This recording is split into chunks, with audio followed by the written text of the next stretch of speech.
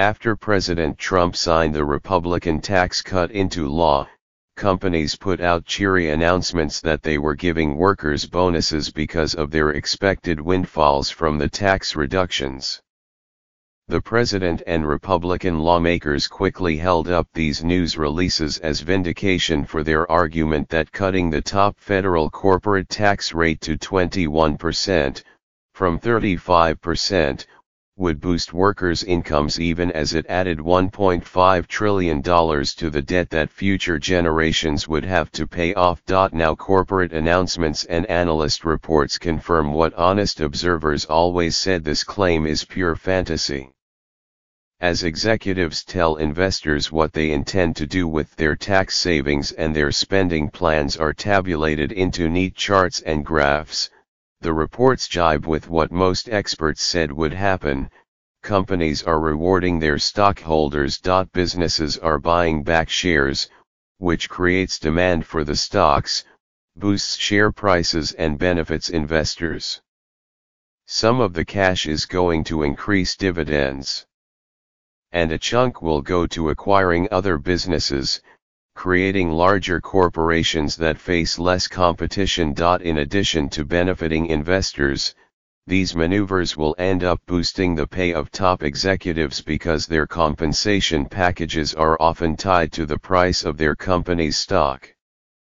Finally, a small sliver of the money will find its way into paychecks of rank and file employees, but it won't be a big boost and will probably come in the form of a temporary bonus, rather than a lasting raise. Morgan Stanley analysts estimated that 43% of corporate tax savings would go to buybacks and dividends and nearly 19% would help pay for mergers and acquisitions. Just 17% would be used for capital investment, and even a smaller share, 13%, would go toward bonuses and raises. Other Wall Street analysts have issued similar reports. If more evidence was needed, Axios reported that just nine pharmaceutical companies have announced $50 billion in buybacks since the tax law was passed. Mr. Trump might argue that it doesn't much matter that the tax cuts will be a boon for investors because many Americans own stocks. The president has recently touted the rising value of 401k accounts as a benefit of the tax law.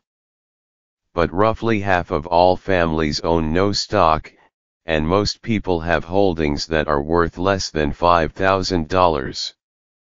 Most stock holdings, a whopping 84%, are in the hands of people whose incomes put them in the top 10% of households. Republicans might further argue that none of this matters because the tax law is becoming more popular as people learn more about it. Indeed, a recent poll for the Times found that the law now has more supporters than opponents.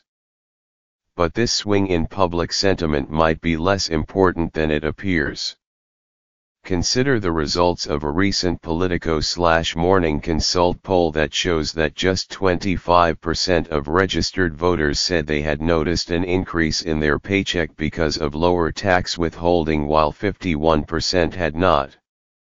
The poll also found that high-income people were more likely to notice that their take-home pay had gone up. That's because Republicans designed the law to principally benefit wealthy families while offering crumbs to low-income and middle-class families. Those crumbs, by the way, disappear after a few years.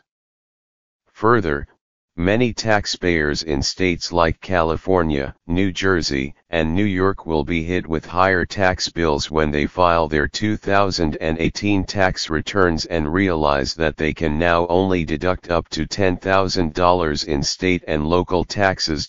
There was a legitimate argument for reforming the tax code in a way that reduced the corporate tax rate, closed loopholes and made the economy fairer and more productive but Republicans chose a plan that rewards the rich at the expense of workers. They had to lie to make the scheme seem legitimate. Now the true effects are coming to fruition.